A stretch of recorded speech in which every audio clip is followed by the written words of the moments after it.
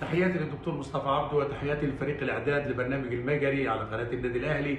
سعيد جدا ان لي إطلالة كده لما يكون عندكم ضيوف من العيار الثقيل اللي بتشرف بإن أنا واحد من آه، تلاميذهم وأبنائهم آه، واحد من اللي تتلمذوا على ايديهم على إيديهم سواء آه، من خلال المجال التطبيقي في الاتحادات الرياضية أو من خلال العلم زي الضيف الجليل الكريم اللي موجود مع حضرتك النهارده يا دكتور مصطفى.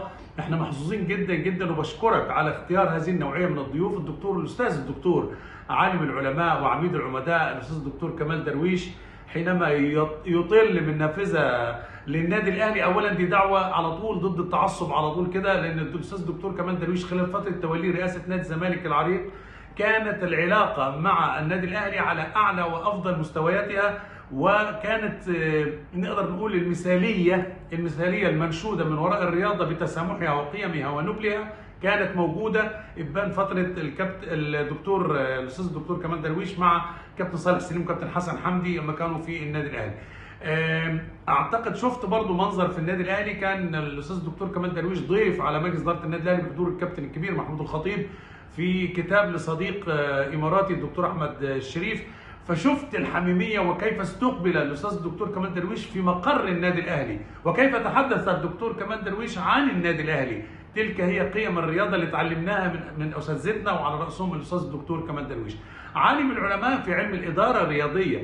إحنا يعني محتاجين ده كتير ومحتاجين ربنا يمد في عمره ويديله الصحة والعافية. نجلس ونستمع لهذه الأيقونة.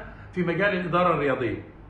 كمان على صعيد الاستشارات الرياضية الوطن العربي كله على فكرة يعرف قيمة وقدر وقامة الدكتور كمال درويش وبيتعامل معاه على طول. كل كل من درس في آه، علوم الرياضة أو في كليات التربية الرياضية في الوطن العربي يقدرون هذا الرجل الذي هو رمز لكل هذه المنظومة الرياضية الأكاديمية على مستوى الوطن العربي. الأستاذ الدكتور كمال درويش فترة الزمالك على صعيد النظري والتطبيقي هو واحد من القلائل الذين نجحوا من المجال النظري الأكاديمي في المجال العملي التطبيقي.